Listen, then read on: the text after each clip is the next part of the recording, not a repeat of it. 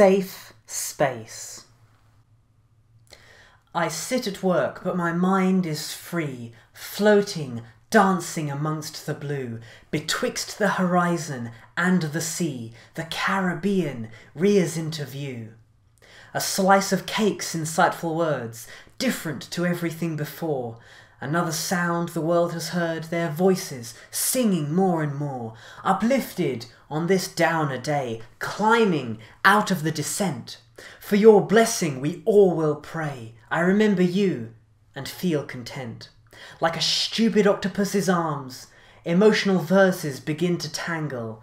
Our busy minds slow down and calm by hearing the poems on this channel.